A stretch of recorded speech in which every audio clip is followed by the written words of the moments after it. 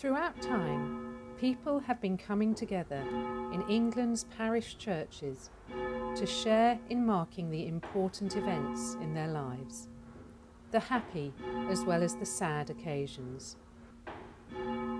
Among family, friends, and the local community, they have celebrated joyful events in these spaces. And in these same buildings, they have also found comfort and support at times of personal and national sadness and loss, through the opportunity for private reflection and contemplation, as well as through services and shared acts of remembrance.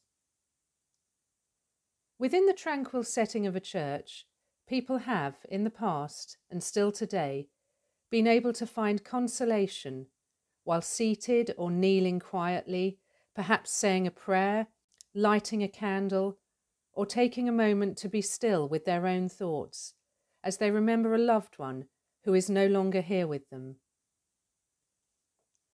Every year in November, we focus on remembering those lives lost through war. On the 11th of November at 11 o'clock, the nation pauses together in silence in an act of remembrance. Poppies are worn as a symbol of remembrance and poppy wreaths are laid at war memorials.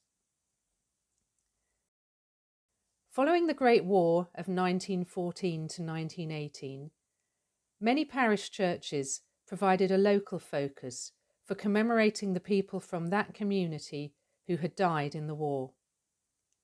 War memorials were erected both inside churches and outside in the churchyards, along with rolls of honour listing the names of those from the local community who had played their parts in the war. As the parish church had for centuries traditionally been at the centre of life in a community, and at earlier times had been the place where the parish records were kept, it made an appropriate location to record these names here. The first Remembrance Day was marked in Great Britain in 1919, and the poppy was adopted as the symbol of war remembrance by the Royal British Legion in 1921. This year, as in the past, on Remembrance Sunday, there will be services, parades, and the laying of poppy wreaths. Poppies will be worn as a symbol of remembrance, and people will pause and bow their heads as they remember the sacrifices made by so many.